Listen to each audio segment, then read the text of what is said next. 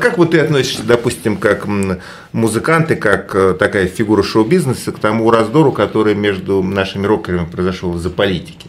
Ты знаешь, коллективы пополам раскололись. Да, и, наверное. Вот э, как ты вообще об этом думал или это думал, тебе параллельно? Думал, это да, нет, мне, мне, мне не параллельно. Mm-hmm. Мне не параллельно, я считаю, что, наверное, наверное, если ты очень твердо на, э, отстаиваешь свою позицию идеологическую, то это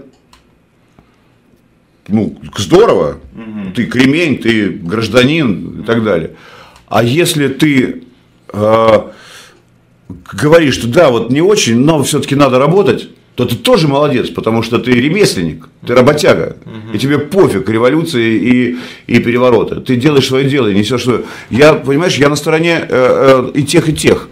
То есть я не политическая проститутка, просто я понимаю и тех ребят, и тех ребят. Я, я, я не участвую ни в какой политической жизни. Я не участвую в осаждениях. Я, я не, не, не веду телевизионные политические аналитические программы и не выступаю на них. Угу. Я просто понимаю всех людей, которые за и против. Ну хорошо, а ты как вот соченицы, э, понятное дело, что Сочи, допустим... Вот только вот, значит, Владимира Владимировича Путина я люблю только за то, можно остальное на него навешать, вот навесьте на него все ярлыки планеты.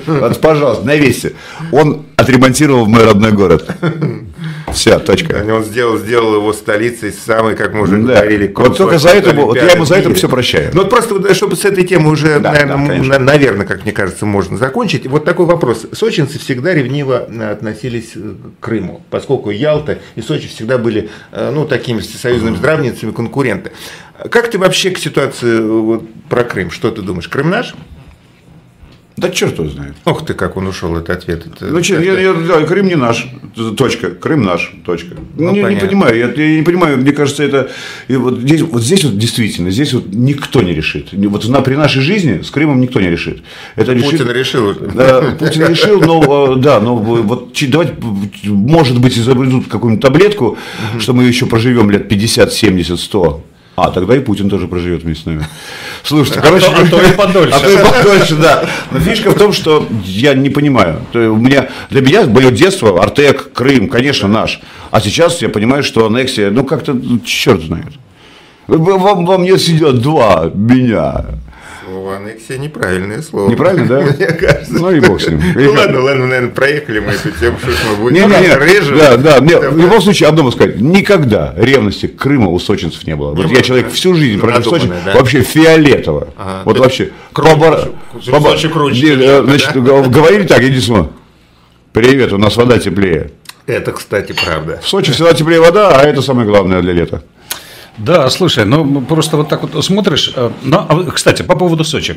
Э, ведь там сочинцы были какое-то время недовольны, что там все роют перед Олимпиадой. Да, да проклинали там... вообще. Ну, конечно, пальмы в пыли, дым столбом, пробки по 5 часов, бетономешалки по всему городу, крыши всем красить в красный цвет.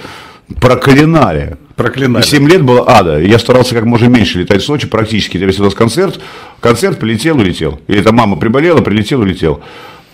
А сейчас только выходной, только смотрю, мне три дня. Вот, вот чем хорошо, можно свалить на, три, на два дня. Угу, Ну да, там два часа лета, да, в общем, да. Если бы... ездим два-три дня, все, я сразу в Сочи. Никуда, я перестал ездить за границу, отдыхать там. Ничего мне не надо. Сочи.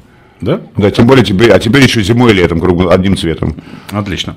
А вот там теннис остался еще в жизни, хочу спросить. Я, я... Большим не занимался, настольный остался, иногда играю. Угу. А также нарды, бильярд очень уважаю, ценю этот вид спорта, неторопливый. А ну, сыновья хоккеисты. Ну и, и ну, сыновья хоккеисты, но это заслуга, скорее всего, их мамы, моей женушки.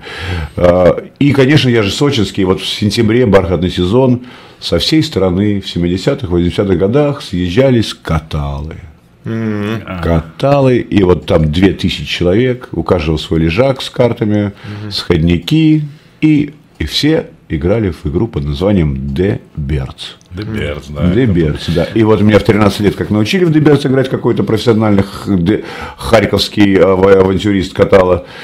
А там же ужас, там реально, там же и жен продавали, из буны прыгали, там топились, то есть там состояние, э, там, ну, там было вот прям советский, вот, вот самый вот апоге... А, финал советской эпохи, как раз вот э, начало 80-х.